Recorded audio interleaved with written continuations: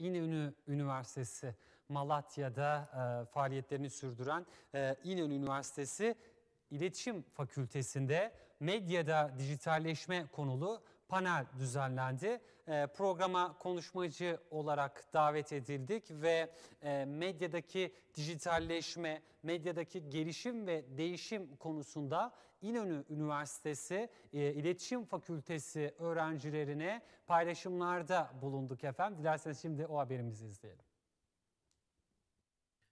Malatya İnönü Üniversitesi İletişim Fakültesi'nde medyada dijitalleşme konulu panel düzenlendi.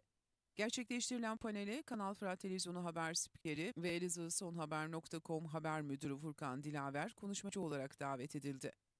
Komşuşehir Malatya'daki İnönü Üniversitesi İletişim Fakültesi akademisyenleri ve öğrencileriyle bir araya gelen Furkan Dilaver, medyadaki gelişim ve değişim üzerine değerlendirmelerde bulundu. Eskiden televizyonlarda bir televizyon programı, bir haber programı ne kadar izlendi, reytingi ne kadardı denilirken şimdi bir haber ne kadar okundu, ne kadar tıkaldı, haber sosyal medyada paylaşıldıysa ne kadar beğeni topladı denilmeye başlanıyor. Ee, bu kapsamda eskiden insanlar haberleri radyolardan öğrenirlerdi. Akabinde televizyon kanalları kuruldu. Televizyon kanallarından öğrenilmeye başlandı. Ve son olarak şimdi de internet haber sitelerinden öğrenilmeye başlanıyor. Medyadaki dijitalleşme ile birlikte sosyal medya kullanımının hızla arttığına vurgu yapan Furkan Dilaver, sosyal medyada yayılan haberlerin doğruluğunun geleneksel medya ile teyit edildiğini belirtti. Burada bir kere ne olursa olsun e, sizler haber alırken, sosyal medyada bir şeyler paylaşırken bunun e, doğruluğunu teyit etmek zorundasınız. 15 Temmuz darbe gecesinden örnek vereceğim. E, sosyal medyada ilk olarak herkes darbeyi sosyal medyada öğrendi. Belki sosyal medya bu denli gelişmemiş olsaydı biz darbeden haberdar olamayacaktık ve e, belki de o gün o darbe planı gerçekleşmiş olacaktı. E, 15 Temmuz gecesinde köprüde İstanbul'da Boğaziçi Köprüsü'nde askerlerin e, köprüyü kestiği görüntüsü ilk olarak Twitter'dan paylaşıldı. Akabinde e, işte diğer sosyal mecralarda yayıldı ve son olarak da televizyon kanallarına ulaştı.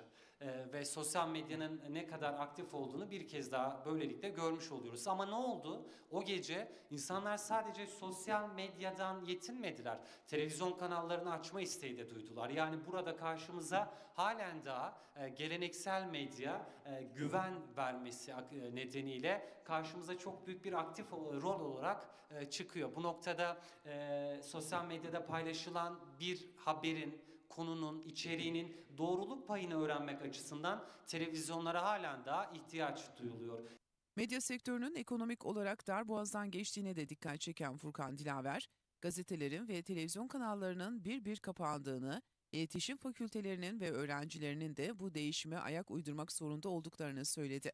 Hürriyet gazetesi geçtiğimiz günlerde ulusal medyanın çok e, aktif e, e, rol aldı, gündemindeydi. Hürriyet gazetesindeki çok önemli e, köşe yazarlarının önce bir süre önce şoförleri, sekreteryası alındı. Ardından köşe yazarlarıyla yollara ayrıldı. Ne oldu? Medya ekonomik olarak zor bir durumdayken küçülmeye gidiyor. Gazeteler, Habertürk gazetesi, e, Habertürk aynı zamanda Türkiye'nin ilk internet haber sitesidir. Habertürk gazetesi e, gazetesini kapatmak zorunda kaldı Habertürk. Ben sadece internetten gitmek istiyorum dedi ki e, kuşe kağıda basılı ilk renkli e, basımı da yine Habertürk yapmıştı ama yapamadı. Kapatmak zorunda kaldı. Gerçekleştirilen panelde TRT 3 ve Türkiye Büyük Millet Meclisi TV spikeri Handan Musaoğlu, Kon TV Genel Yayın Yönetmeni Yaşar Toy, Kırmızı Türk Spikerler Platformu kurucusu Cengiz Hankaya, TVA program sunucusu Buket Uyar ve Vuslat Gazetesi editörü Muhammed Furkan Adıgüzel de medyadaki dijital dönüşümle ilgili bilgiler verdi. Program öğrencilerin sorularıyla devam etti.